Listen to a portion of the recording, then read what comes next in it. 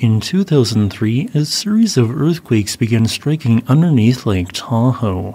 Over a four month period, approximately 1,600 earthquakes struck underneath the lake, which were at first thought to be related to a deep, previously unknown fault line. However, these earthquakes were too numerous in nature and did not seem to decrease at the rates expected for a standard aftershock sequence.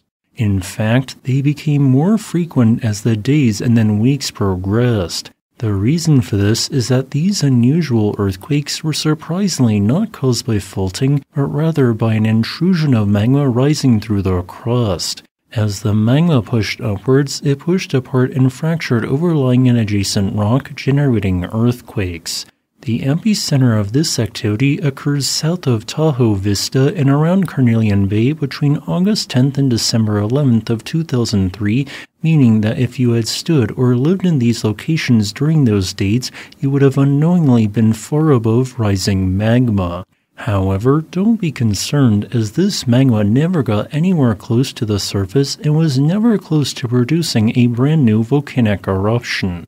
Although Lake Tahoe is not volcanic in origin, it does theoretically have a very, very low potential to be the site of a future volcanic eruption. Today's video will discuss why this is the case and how far this magma migrated upwards in 2003. For those of you living outside the United States, Lake Tahoe is located in northeastern California, 130 kilometers east northeast of the city of Sacramento, where it straddles the border with Nevada. In this section of the United States, the crust has a variable thickness due to a range of geologic factors. Underneath Lake Tahoe, it is specifically around 42 kilometers or 26.1 miles thick. The aforementioned earthquakes directly caused by underground magma movement rather than triggered by stress transfer onto nearby faults all occurred at between 30.8 and 22.7 kilometers depth, meaning magma never truly got any shallower than 14.1 miles depth, only making its way 46% through the thick continental crust. I interpret that two batches of magma were sent upwards in separate areas, hence the two separate trends that get shallower over time. The first batch of presumably basaltic magma migrated upwards at an abysmally slow average rate of 4.17 meters an hour between August 10th and October 3rd, reaching as shallow as 23.6 kilometers depth. While this initial swarm was centered beneath a spot three quarters of a mile southeast of Carnelian Bay, the next intrusive episode was centered directly beneath Carnelian Bay.